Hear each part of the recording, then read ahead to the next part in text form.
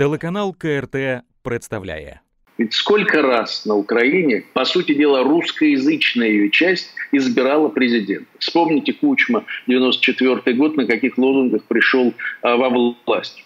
Русский язык второй государственный, э, с Россией, значит, больше мостов, меньше стен. Ну, то есть абсолютно на пророссийских э, лозунгах и идеях. И на инаугурации, помню, он под гром аплодисментов Верховной Рады заявил, все, первое, что делаю, это русский язык делаю государственным. Э, прошло буквально несколько недель, месяцев – и он что делает? Всю гуманитарную идеологическую сферу отдает, по сути дела, украинским националистам. Ну, тогда чуть более умеренным, чем сейчас, но, тем не менее, идеологам украинского национализма. Пришел Янукович э, в президенты, и, на, и казалось бы, ну уж тут-то, ну, ну все, понятно, кто за него, где его богом данный электорат, да, и прочее.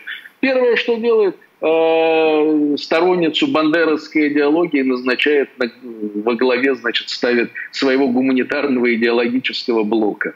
То есть вот беда, к сожалению, э, тех выходцев, э, я имею в виду ментальных, идеологических выходцев из русской Украины, из юго-восточной Украины, заключается в том, что они никогда не понимали суть и значение идеологической гуманитарной работы. Они считали, что это просто приложение к выборам.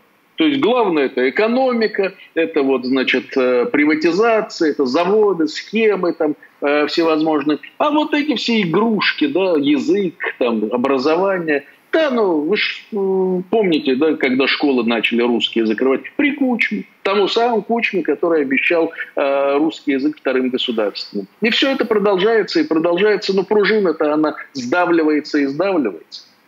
Я еще э, в 91 году, перед референдумом 1 декабря, мы вот молодые э, начинающие политологи, политики создали группу интердвижения Донбасса, и мы тогда издали листовку, где предупредили о том, чем обернется незалежность для Украины. И помню, нас тогда осудили, да, даже коммунисты сказали, ну это вы утрируете. Это. А мы что предупредили? Что в случае распада нас ждет значит, насаждение, украинизация тотальная, э, развал экономики, экономических связей с Россией, соответственно, бандеризация, э, э, курс на вступление в НАТО, гражданская война.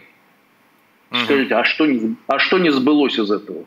Вот, вот, собственно, это был. Мы были обречены изначально на вот этот курс. Как только отцы-основатели вот этой незалежной Украины образца начала 90-х годов выбрали курс на унитаризм, одноязычие э, и, по сути дела, унификат, попытку унифицировать всю эту Украину. Чем больше шли эти попытки, тем больше росли центробежные тенденции.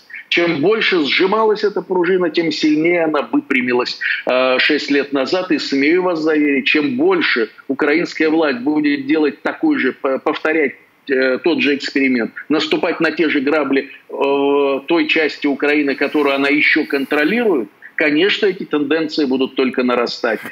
То есть предупреждали, на самом деле честно предупреждали, чем это должно закончиться. То есть здесь, к сожалению, другой части Украины, та Украина не оставила выбора. И когда у вас там вот дрездилы всевозможные кричат, я не буду разговаривать там на русском языке, понимая прекрасно, что это ведь значительная часть э, Украины на нем говорит, и я вам запрещаю в публичном пространстве использовать, он тем самым разваливает эту самую Украину. Я помню, как там сколько, два-три года назад, э, помните, писательница Ирена Карпа, ну, не знаю, что она пишет, но называет себя писательницей, заявила, а вот мои дети, они вообще не воспринимают русский язык. Они, они вот даже его как бы не слышат вообще, когда он звучит. Тильки мова, тильки мова. Я вот думаю, господи, бедные детишки, кстати, они ходили по русско-говорящему Киеву, и получается, они же были немые.